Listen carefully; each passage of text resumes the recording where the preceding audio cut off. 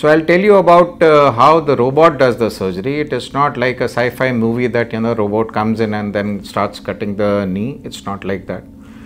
We place the knee as if uh, we do it for a manual uh, knee replacement. We cut the knee open and then the predetermined cuts are uh, the registration is done uh, with that machine and the, then the predetermined cuts are made with the help of a robotic arm.